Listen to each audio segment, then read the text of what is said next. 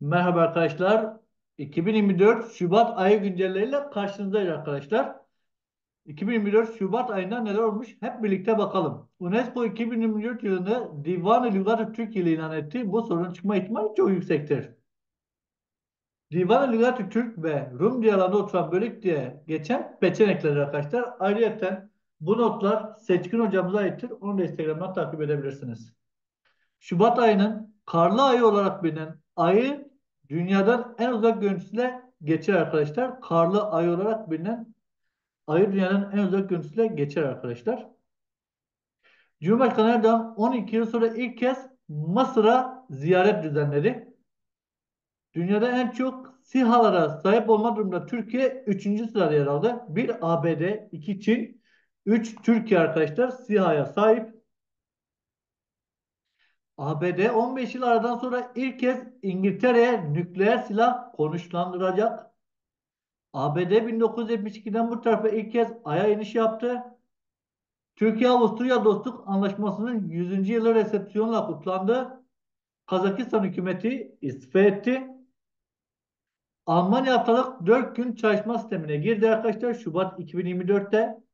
Yazar ve eğitimci Alev Alatlı hoca hayatını kaybetti. Cumhurbaşkanı toprak ana diyerek bahsetmiştir arkadaşlar. Çıkma ihtimali yüksektir.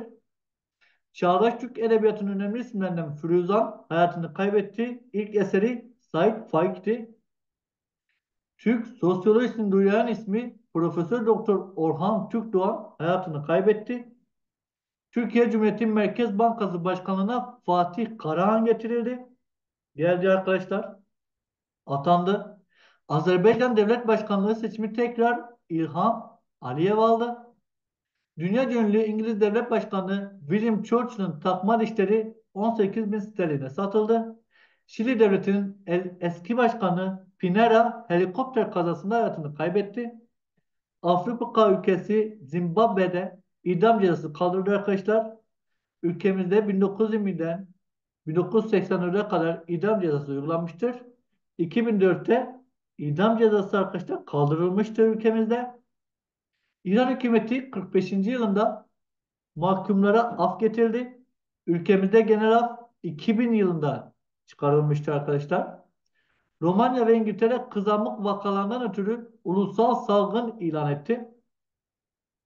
Şili'de uzun süren yangınlardan yangınlardan dolayı o hal ilan edildi. Afganistan'da Türkçe yasaklandı. Irak hükümeti de Türkçeyi resmi dil ilan etmişti arkadaşlar. Onu da unutmayalım. Türkiye'nin en büyük sağlık müzesi Nilüfer Sağlık Müzesi Bursa'da açıldı. Türkiye'nin ilk dijital hayvanat bahçesi Ankara'da açıldı. Rusya'nın Ukrayna Savaşı'ndan sonra ziyaret ettiği ilk NATO ülkesi Türkiye oldu. Ötenaziyi suç olmaktan çıkaran ikinci ülke Ekvador oldu arkadaşlar. İlki Kolombiya'ydı. Pakistan'ın başına tekrardan seçilen isim İmran Han geldi. Anayasa Mahkemesi kararıyla kadınlar artık eşdeğerinin soyadını almayacak. isteğe bağlı olacak arkadaşlar. Endonezya'nın başkenti taşıma kararı alındı arkadaşlar. Başkenti taşıma kararı aldı Endonezya.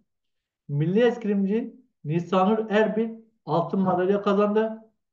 Alper Gezer Avcı dünyaya döndü. İlk cümlesi merhaba dünya ben geldim oldu çıkma ihtimali yüksektir. Uzaya gidecek ikinci isim Cihangir Atasever oldu arkadaşlar. Bunun da çıkma ihtimali yüksektir. Macaristan Cumhurbaşkanı Katolik Novak istifa etti. Eski bakanlardan Yılmaz Karakoyunlu hayatını kaybetti. Asya Kupası'nı ikinci kez Katar'ın oldu. Afrika Uluslararası Kupası fil dişi sahilinin oldu. Avrupa Ateş Şampiyonası'nda Cansu Bektaş altın madalya kazandı. Alper Gezer Avcı Türkiye Uzay Ajansı Yönetim Kurulu üyeliğine atandı. Aselsan'a atanan ilk kadın tak personeli Büşra Doğru oldu. Maraton yüzücü Bengisu Avcı Yeni Zelanda çok straight kanalını geçerek geçen ilk Türk olarak tarihe geçti arkadaşlar. Straight kanalı arkadaşlar unutmayalım. Kim? Bengisu Avcı Yeni Zelanda. Bengücü Avcı arkadaşlar. Bengüsü Avcı. Unutmayalım arkadaşlar. Bengüsü Avcı unutmuyoruz. Ee, çok Strang kanalını yüzerek geçerek tarihe geçiyor. Unutmayalım.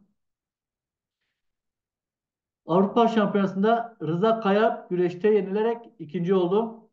Dünyanın üçüncü büyük ekonomisi ünvanı Japonya'dan Almanya'ya geçti arkadaşlar. Dünyanın üç büyük ekonomisi bir ABD, iki Çin, üç Almanya oldu arkadaşlar. Eskiden Japonya'da şimdi Almanya oldu. 17 yaşındaki lise öğrencisi Sima Yüksel, Alzheimer ve Parkinson'a yapay zeka geliştirdi. Kim? Sima Yüksel arkadaşlar. Y büyük olacak. Bu arada PDF'i arkadaşlar videonun açıklama kısmına bırakacağım. Oradan ücretsiz bir şekilde indirebilirsiniz. Mart, Nisan, Ocak, Şubat hepsini paylaşacağız arkadaşlar. Abone olmayı unutmayınız. Taha Akgül güreşte 11. kez şampiyon oldu. Yasemin Adar güreşte 7. kez şampiyon oldu. Avrupa Güreş Şampiyonası'nda Nesrin Baş kadınlarda altın madalya kazandı. Kara Kuvvetleri Komutanı Forsu değiştirildi. Türkiye'nin ilk yerli milli gözlem radarı Gaziantep'te kuruldu arkadaşlar. Şu soruyu bekliyorum. Türkiye'nin ilk muharip uçağı Kaan arkadaşlar. İlk uçuşunu gerçekleştirdi arkadaşlar. Kaan'ı unutmuyoruz. İlk milli muharip uçağı. Kaan'ı uçuran pilot Barbaros Demirbaş'tır. Türkiye'nin yeni ABD Büyükelçisi Sedat Öner oldu. Birleşmiş Milletler Daimi Temsilciliğine Ahmet Yıldız getirildi. İlk kez Suudi Arabistan güzellik yarışmasına aday gönderdi. Filistin Yönetimi Başkanı Muhammed İştiye istifa etti. Usta oyuncu Turgay Savacı hayatını kaybetti. Rothschild ailesinin baron lakaplı Jacob Rothschild hayatını kaybetti. Pakistan'da ilk kez kadın eyalet başkanı Meryem Nawaz seçildi arkadaşlar. Tekrar ediyorum. Pakistan'da ilk kez kadın eyalet başkanı Meryem Nawaz seçildi. Asa ile mücadele eden dünya ünlü oyuncu Kenneth Mitchell hayatını kaybetti. Hiroşima'ya 1945'te atılan atom bombasının kalıntılarında bulunan kol saati arkadaşlar 31.113 dolara satıldı. TÜİK verileri arkadaşlar. TÜİK verini de dayı notlarım YouTube kanalına paylaşmıştık arkadaşlar. Oraya da abone olup PDF'leri indirebilirsiniz. PDF YouTube kanalıdır. Dayı notlarım. Dayı notlarım YouTube kanalı. TÜİK verilerine göre en kalabalık il İstanbul, en az nüfuslu il Bayburt, en yoğun nüfuslu il İstanbul, en az yoğun nüfuslu Tunceli, ortanca yaşın en fazla olduğu Sinop, ortanca yaşın en az olduğu il Şanlıurfa oldu arkadaşlar. PDF'i videonun açıklama bırakacağım. Diğer PDF'ini indirebilirsiniz. Videoyu beğenmeyi unutmayın arkadaşlar. Bir sonraki videoda görüşmek üzere.